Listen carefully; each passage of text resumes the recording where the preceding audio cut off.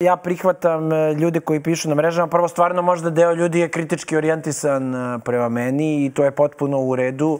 E, ja te ljude doživljavam kao Beograd i ljude koji botuju i iznose lažne informacije takođe doživljavam kao Beograd i moja poruka je njima da smo svi mi Beograd i ja sam Beograd, ja njih pozivam da izađu, glasaju za tu listu, ako im se ta lista ne sviđa, evo po vama jedan poklončić Hvala, brate, mogu manji, ovaj... mogu manji, manji neki bež da bude. Pa, diskretno, brate, da možemo Rockefeller se zatvorio. Prozivaju te ljudi, da. odakle ti pare za kampanju, kakva kampanja, gledajte pa Vidite kakav Beđić. Gledajte koliko Beđić je. Ovaj, super, tako da stvarno sve, sve pozivam, potpuno je u redu, Ima, imaju ljudi i druge uh, liste, ja ih pozivam da izađu na izbore i stvarno je sve okej, okay, ali dajte da pričamo ono...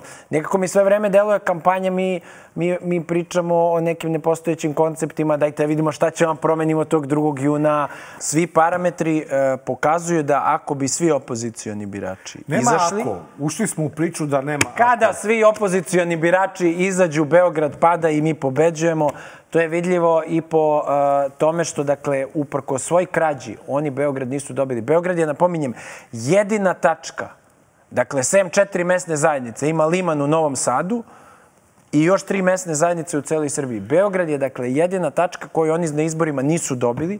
Dobili su opštine u Beogradu, uh, zahvaljujući tome što je prošli put opozicija uh, bojkotovala, bez plana šta će raditi. Ako se sada opet ide bez plana, to je prepuštenje. Znači, jedino o čemu sada možemo da pričamo jeste na koji način da dignemo izazov. Ako svi izađu, e, koalicija oko SNS-a nema šanse da napravi vlast. To je, dakle, to je svima toliko, toliko jasno.